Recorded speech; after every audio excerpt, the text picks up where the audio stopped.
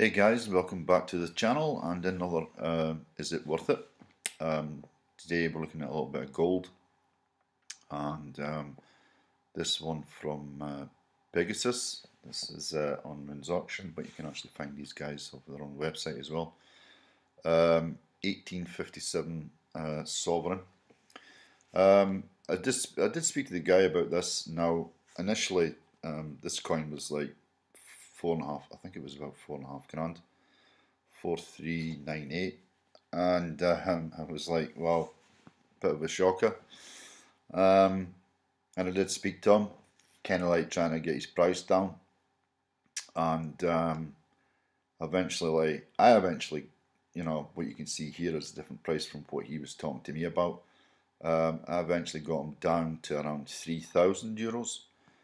Um, it's a nice coin, I have to admit. It is a nice coin. Um, he did tell me that he overpaid on this coin, um, and he was the grade he was expecting about a 64 grade or so. Um, so I did a little bit of checking around, and um, uh, I actually found on Coin Archives. Uh, let's just have a look at that. Um, I did find on Coin Archives a different coin this one here, again, 25th April 2019, it seems to be a popular uh, date, um, but uh, this coin here is an MS62, uh, sorry, MS62 plus, so it's uh, one point higher, uh, one point lower, sorry, than the previous one, uh, than the one in Pegasus, and um, yeah, it's for me, it's a little bit ouchy. Um, now I did. I was looking for one, a, a, specific one. There was one in a Baldwin sale, and I couldn't find it. I don't know why it's not come up. But um, when I spoke to this guy at Pegasus, uh, obviously I did quick re quick research, and I actually found uh, the same grade coin. Uh, it was sold in Baldwins. Now, as I said, I can't remember when it was now because the, the thing's not coming up. Um, and that one in Baldwin's that sold for um, 1400 and exactly the same grade. And Baldwin's, I believe, has a 24% commission fee, which brings that to £1,736. Now, that auction was only, I think, December last year, or maybe even earlier this year. Um, so, for me, the price is very, very high. Um, now, in here, you can see Pop 1 finest graded um, so I went into NGC and had a look. Uh, click. This is the coin. This is the exact coin. Now, if you click on uh, NGC, um, you'll find here that yeah, it's pop one, but there's actually seven in the same population list, and um, so he's not he's not actually telling you that. He's just basically trying to make you believe that it's uh, one of one, or the highest in the population list. And if we go into, this is PCGS, if we go into PCGS, there's a 63 here. Um, that was sold uh, 9th to the 11th, $1,955 with your 20%, $2,346 or £1,816 or 2,091 euros. Now that to me tells me that uh, the coin hasn't really done anything between then and now uh, to the Baldwin's coin. So um, I do think the price is uh, fairly excessive. It's about 1500 euros excessive.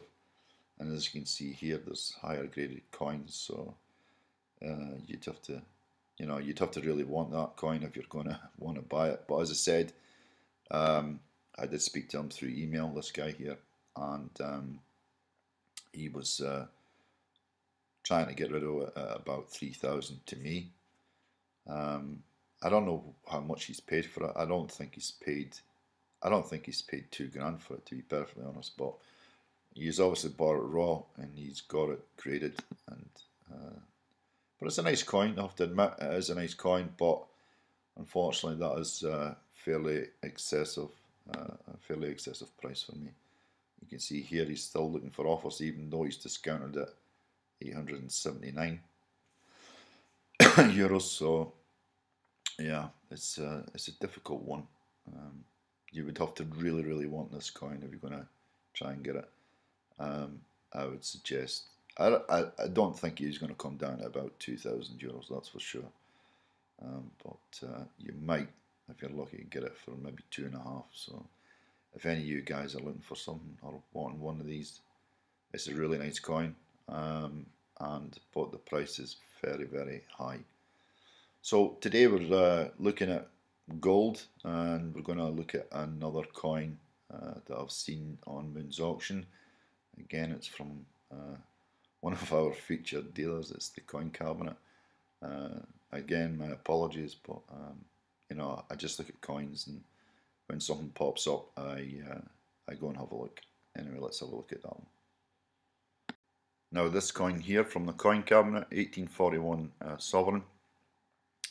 PCGS XF45, 16,200 euros. Um, it is a rare coin, uh, rated by Marsh as uh, R3, um, 124,053 mintage. Um, is 16,200 euros worth it? Well, if we go to Coin Archives, uh, here you'll see a another one that was recently sold again on the 25th I think this was the 24th yeah it was 25th of April again. Uh, this one's got unbarred A's and Gratia um, $13,000 which is um, $15,600 with commission and um, which would equate to 12,078 pounds roughly or 13,912 euros. This coin here is three grades higher than the one that uh, the coin cabinet is offering. Um, so you would think it, it was excessive. Uh, Andreas wants 2,288 euros more for a less for three grades less than this one sold for. Now, if you don't know, XF45 which is the coin that Andreas has, XF45 here, that is near very fine. Uh, so you're between fine and very fine. Um, the Spink price guide, um, fine is £5,000, very fine £10,000. So you're kind of looking at in between that, which would obviously be £7,500 or 8,639 euros. So you can see again how dealers are making money.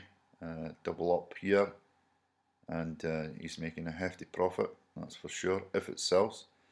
Um, for me that is uh, an extremely excessive price, although some people might want to pay it, who knows, um, but that's entirely up to them, they want to lose some money.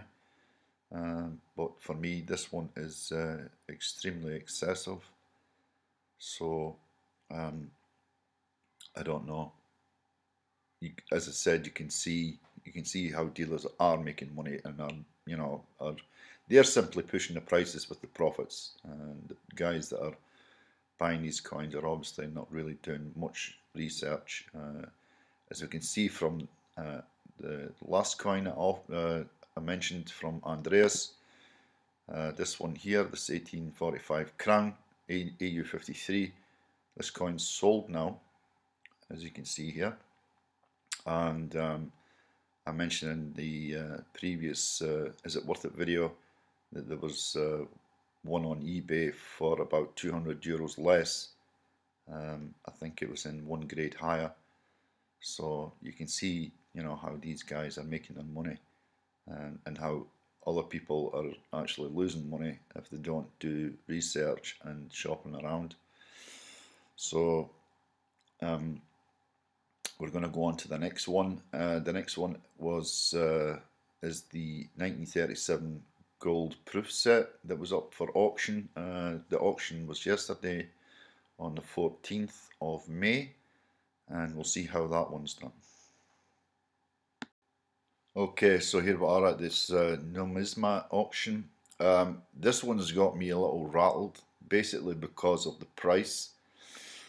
11,300 euros. Now, as I said, um, I retracted my bid on the grounds that this wasn't um, as described. Scratches and so on uh, within this five pound um, here in the bottom, and the only way that you can retract your bid is if an item isn't as described or if an auction lot isn't as, described. Um, they've described it as you know top grade, and it certainly wasn't top grade, and they know this. They didn't change it. Uh, 11,300, I believe, could well be an auction record for this. um, with commission, you're looking at 13,673 euros. And honestly, somebody is going to be very, very um, annoyed. Whoever's bought this is going to be very annoyed when this comes uh, and lands on their doorstep. That is just, uh, in my opinion, it's just a disgrace that they've even let this carry on. Um, I'm going to go into coin archives. I'm going to show you a lot that actually sold. I think it was January this year uh, same set. This was sold by Künker, and I would uh, basically I would put this lot down as to, you know uh, similar grade, not as their grade, but as similar grade as I see it of these coins, um, and it was this lot here, 31st of January 2019. This lot sold for eight and a half thousand euros, uh, nine thousand euros, nine thousand seven hundred euros uh, with commission uh, wasn't they weren't perfect. You know, there was you can see there it wasn't perfect, and um, I would say that this uh, um, set from the Misma is in similar grade as this one, and um, I think it's just a disgrace that they've actually let that go on without changing the uh, description. Um, the other one that was in the same auction I wanted to show you. Uh, it was this one here, this Gothic crown. Now if you remember in my previous video uh, I highlighted a, a, Gothic crown that was for sale for 19,000 something euros. Uh, this is in a, a slab. Um, the one that I mentioned in the previous video was one point higher, just one point higher. This is uh, 63. The one that I showed you was a 64. This coin here sold for 6,400 euros uh, with commission 7,744 which makes this coin look absolutely ridiculous overly overpriced so as you guys can see I mean I wouldn't bother for one point over or one point under sorry um, and saving myself something like 12,000 euros I don't know what you guys think but I would you know I would prefer to save 12,000 euros than having to pay 12,000 euros more for one point higher. It doesn't make any sense. That is just not logical whatsoever. But as I said to you guys, it just makes you see exactly what these dealers are trying to pull. Um, you know, making excessive profits, and again, as I said, continually pushing the prices higher and higher, um, and making collectors. You know, it's kind of forcing out the everyday collector uh, out of the market, and you know, if it continues like that, there's a lot of people that won't continue to buy these sort of coins. So uh, there we have it, guys. This has annoyed me. Uh, there we have it um, for this um, number three. And is it worth it? I uh, hope you guys are taking notice of uh, things that I'm highlighting, and uh, you know, it does pay to do your research. And hopefully, you guys can pick up a, a coin that you're interested in at decent prices instead of paying these uh, obscene prices. Okay guys, uh, as usual, like, comment and subscribe and uh, we'll catch you on the next, uh, next coin. We'll catch you on the next video.